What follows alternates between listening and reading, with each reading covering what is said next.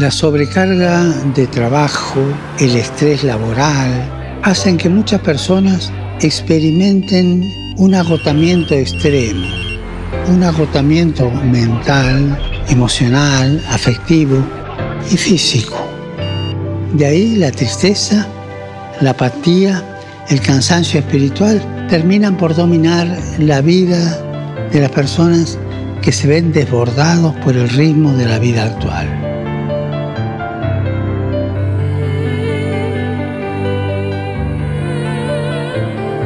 Procuremos estar cerca de los que están agotados, de los que están desesperados, sin esperanza.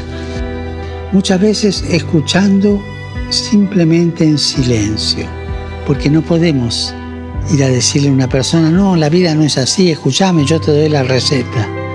No hay receta.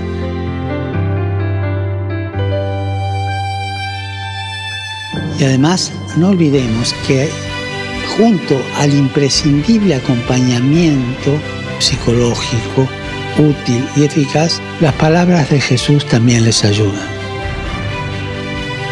Me viene a la mente y al corazón, venid a mí, todos los que estáis fatigados y sobrecargados, y yo os daré descanso.